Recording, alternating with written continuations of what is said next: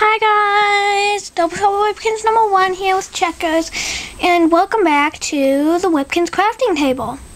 We haven't had an episode in a long time because um we've run out of ideas, but we just got one. Me and uh, Tundra here. Hi. Um, we're going to show you how to make probably the most important thing for your Webkinz. Its outfit. Like, I already have one. It's cute. I lost the hat. And yeah, so we're going to be making one for Tundra. All you're going to need is a sock that you can cut up. I got a bunch of these for Christmas. And some scissors. Didn't get this for Christmas. Okay, first off, you need to take some measurements of your webkinz. Okay, actually, take your sock and you cut right here at the foothold and make sure it's pretty nicely sized. These, this is going to be your Webkinz hat, beanie, whatever you want to call it. And you don't want to make it too small or too big. And, okay, so just cut it. Freaking cut.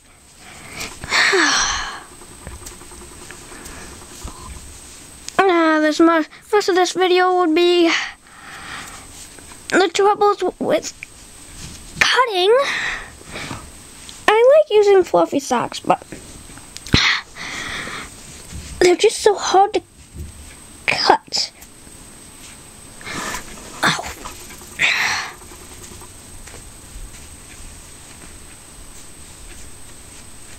Come on.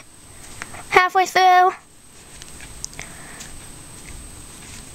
I haven't actually been feeling good myself, Double Trouble Webkinz number one, but I haven't made a video in a while, so I wanted to make you guys a video. Right now I'm sweating, even though my room is always freezing cold, and so I guess that's bad.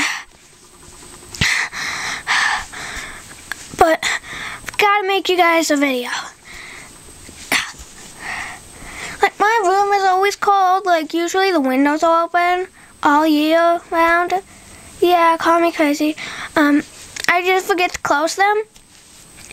So yeah, it's always like freezing cold in here. Um, yeah, so I, the fact that I'm sweating in here is really bad. I got a tank top and shorts on and it's winter. Oh my gosh. I think I'm sick. And there we go. Cute little hat.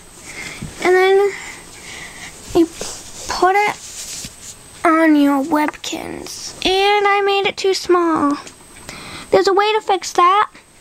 You give it ear holes. You just pinch where you know the ears are supposed to be.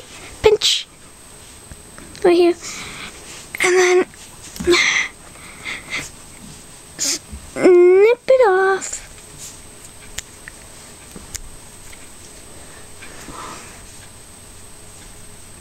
Oh my gosh.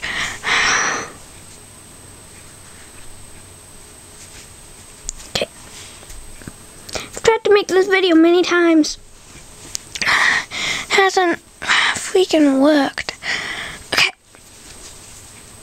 I think that's good. Got a little hole. And you do the same thing on this side.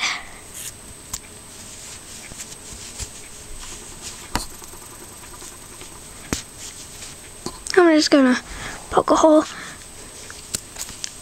cut, and stretch because I'm too lazy to actually cut it. Okay, and then you put it on your webkinz.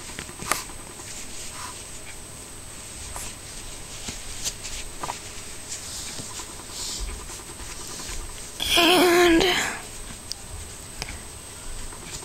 okay, there you go. Cute. Whoop. Okay, I'm a fox. Okay. Uh, um, yeah. And the next thing is take the remaining part of your sock, and this is for long socks. Um, you cut to here, and I suggest using this elastic part right here for the neck. It's really nice for the neck, and um, you measure, and um, you can make it to the tail and have a tail hole, or you can just make it more like a shirt. I think what I'm going to do is just make it a shirt so I can make more something for another Webkinz. Yeah, so. Oh, and the heel is also really good. And like each Webkinz different. Like the little kins, you have to use like baby socks. My size 10 socks, okay, 11, you know, made for people with 11 size feet, um, won't work for kins, I should know. I tried, and it's huge. So yeah, this is great for your old socks because Webkinz clothing is cute and nice, but it's just really expensive and it doesn't fit any of the Webkinz except for like the brown dogs and cocker spaniels and golden retrievers. It's just so expensive. So yeah.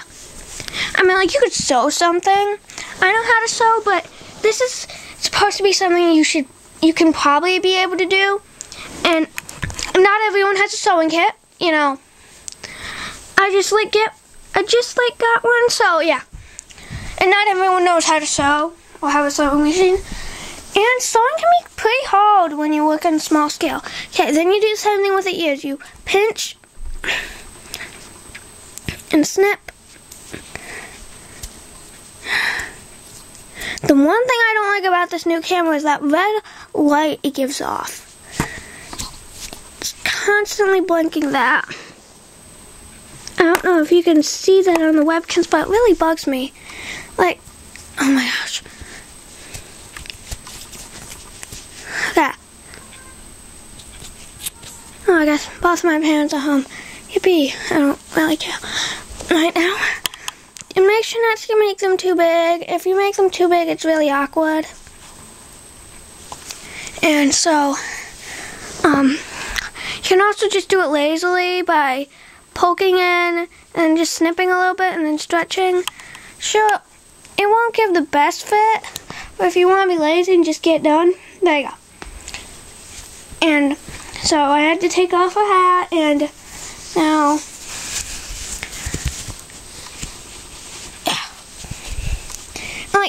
Make hats without any ears hole ear holes if you get it big enough. I'm like, I want to do that, but I can never get it the right size. And it's just really frustrating. Like you could make pants too, I guess. You could sew it, or it could just be like a swimsuit bottom. Now you put a hat on. I mean, I've seen people do this before. It's cute. And with the googles, you just have to have a pretty big sock make almost like a and make a hat. You know, but then put on the butt or give them a belt. So yeah, this is her ice tundra with a cute outfit. You can do this for all your Webkinz. Granted, we have like two that wouldn't really work, but you know, we need a lot of socks. But okay, well my camera's gonna die, so thanks for watching the Webkinz crafting table and bye. Have a great weekend. I know it's Tuesday, but the weekend's coming up. And I have Friday off for some reason, I don't know. So bye.